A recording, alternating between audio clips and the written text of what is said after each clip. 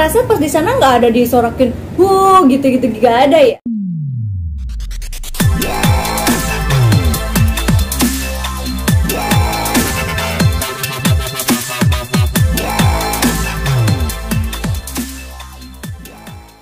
Awalnya aku kaget gitu shock kayak nggak nyangka banget wah ternyata sampai seviral ini gitu. Tapi ya aku menanggapinya nggak masalah ya karena udah konsekuensi sebagai uh, entertainer pasti ada pro kontra orang untuk uh, menilai dan penerimaannya gitu.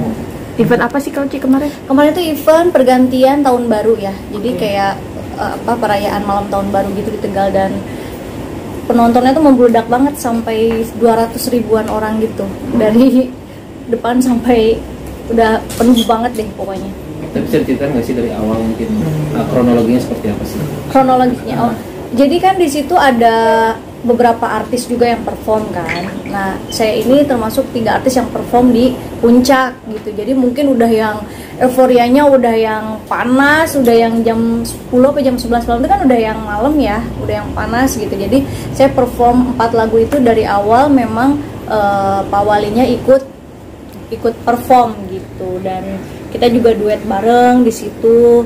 Dan respon uh, penontonnya juga sangat antusias sekali gitu kan.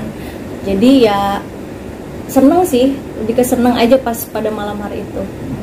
Tapi nyata nggak sih tiba-tiba padahal menurut Baji sendiri itu hal yang biasa tapi ternyata jadi sorotan. penonton jadi malah iya karena saya ngerasa pas di sana nggak ada disorakin wuh gitu-gitu gak ada ya. Terus saya merasa juga memang Pak Wali Kotanya juga memang entertainer sejati metal gitu loh bisa dianggap. Kalau di atas wah ini kayak bukan uh, Pak Wali Kota kan? Jadi kayak udah kayak artis. Makanya kan aku bilang aku berasa duet sama artis gitu sama beliau. Karena memang entertainer banget gitu. Dan penonton juga nggak ada yang kayak gimana gitu ya nyorakin nggak ada. Malah semuanya pada uh rame gitu loh pada malam hari itu. Tahu ini video viral itu dari mana kau Ci? Uh, pagi-pagi pas bangun tidur diteleponin banyak orang katanya oh viral viral viral. Apalagi kan sampai siang sampai malam ya masih viral. Terus juga di Instagram banyak yang komen komen gitu. Makanya aku gatel banget tuh pengen komen ya gitu. Akhirnya aku komen aja kan. Maksudnya ya kalau aku kan cuman profesional kerja gitu konsekuensinya juga. Dan itu momennya juga di atas panggung yang aku juga all out gitu sehingga mungkin euforianya tuh terbawa suasana semua gitu. Mungkin bisa dibilang Pak juga menikmati suasana manggung ya jadi iya. terlihatnya agak berlebihan seperti itu ya mbak? Uh, ya itu tergantung uh, semuanya menilainya kayak gimana gitu loh. Kalau saya kan di atas panggung juga merasanya apa ya ya seneng aja gitu kan karena memang penontonnya banyak terus jadinya ya enak aja gitu loh manggungnya gitu sampai nggak nggak sadar gitu kayak refleks nggak sadar kayak aduh di bangun kayak gimana ya? gitu. Tapi kalau ngelihat video sih saya ngelihatnya masih batas wajar ya gitu. Hmm, kan banyak publik menilai itu uh, apa risih apa melihat uh, hmm. uh, Pak Wali seperti itu. Ini mungkin Kauci seperti apa sih? Mungkin gerak-gerik Pak Wali yang dinilai terlalu over. Iya kan kita refleks ya kadang-kadang juga pengen aduh pengen ngejaga gitu kan. Karena pengen ngejaga beliaunya juga kan tapi karena beliaunya sangat all out ya udah. Uh, aku apa kan maksudnya kita refleksikan dengan performance yang rame aja karena kan penontonnya juga semua ikut seneng ikut nyanyi bareng. Pokoknya antusiasnya sih sangat luar biasa aja. Mm-hmm. sempat kaget gak sih Mbak Uci ketika melihat video mungkin banyak netizen yang aku salah kaget, fokus? nyangka, gitu loh ternyata aku dipegang di situ ya gitu kan karena gini loh baju yang aku pakai tuh nggak pernah tipis pasti tebel. Itu kan tebel ya gitu. Jadi mungkin kalau tipis aku berasa kali ya itunya dipegang gitu. Tapi karena itu bajunya tebel jadi aku nggak berasa gitu. Aku berasanya ya udah kayak cuman nempel begini doang gitu. Jadi pas kaget juga eh, kok kayak gini ya? gitu. Kayak keren sih netizen bisa ngedit videonya sampai se niat itu gitu ya. Tapi kan aku penerimaannya ya biarin aja. Itu kan pro pro kontra uh, mereka karena penerimaan setiap orang kan berbeda ya. Dari pihak Pak Wali sudah ada yang mau coba hubung-hubungi pihak Kak Uci? Ada, jadi pas kemarin lagi viral itu saya ditelepon katanya Mbak Uci minta maaf ya gitu ini uh, videonya viral wah iya pak gitu kan kalau saya sih nggak apa-apa saya nggak masalah gitu bapak gimana oh ya nggak apa-apa karena kan memang kita niatnya juga baik hmm. menghibur masyarakat apalagi setelah dua tahun pandemi tahun kemarin kan tahun baruan kita di rumah aja nggak apa. Setelahnya udah nggak pandemi gitu WFH juga ppkm juga udah dihilangkan sama Pak Jokowi. Jadi mungkin ya euforianya itu yang diterima untuk all out ke seluruh masyarakat. Dan juga beliau juga sounding ke saya beliau sengaja uh, bikin acara begitu supaya untuk promosiin Tegalnya juga untuk jadi sebagai kota event gitu dan untuk destinasi pariwisata juga supaya bisa lebih maju karena dampak uh, pandemi kemarin gitu. Tapi uh, ini kan banyak sekali paparazzi terus uh, apa namanya sih foto video-video dari netizen gitu kan yang sangat detail banget gitu menjadikan satu pelajaran nggak sih untuk lebih berhati-hati lagi besoknya gitu apalagi kan ini videonya kan jatuhnya negatif ya iya ya nah.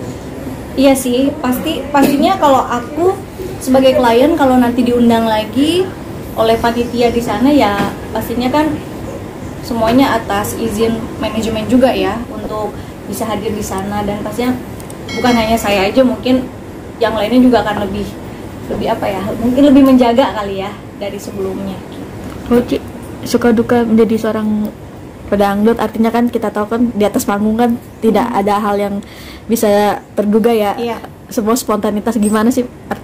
Ini pakai memang oh, ini iya. ada yang lebih kah atau yang seperti apa kejadiannya? Kan, tadi seperti yang udah aku bilang itu kan konsekuensinya penyanyi dangdut karena apa? Dari baju juga kan memang uh, bajunya press body gitu kan yang mungkin bisa memancing orang. Jadi kalau kita istilahnya di, dilecehin aku menganggapnya itu bukan suatu pelecehan ya. Karena itu adalah suatu kesatuan dari profesionalitas kita kerja gitu loh. Di, di mana respon orang yang berbeda itu itu tergantung mereka masing-masing gitu ya kan? Banyak juga kan ada artis-artis yang misalnya dipegang itunya gitu kan dia langsung mukul gitu ya. Ya itu kan wajar karena kan respon itu berbeda. Ini kan persoalannya aku di atas panggungnya yang berhadapannya dengan uh, klien yang mengundang gitu kan. Dan saya merasa masih di batas wajar jadi ya udah nggak apa-apa gitu.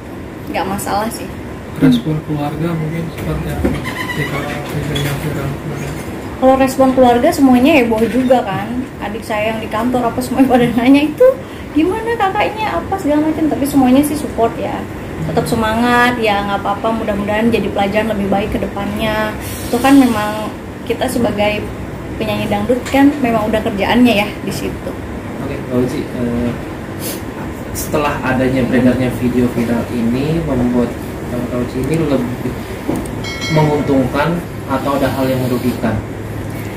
Uh, apa ya? Kalau itu sih alhamdulillah masih sekarang masih alhamdulillah masih baik-baik aja. Pertama juga uh, banyak tawaran kerjaan kayak endorse brand ambassador uh, ada off air juga nanti malam yang mendadak gitu kan. Jadi ya alhamdulillah responnya sih masih bagus ya. Jadi bisa dibilang ini menguntungkan?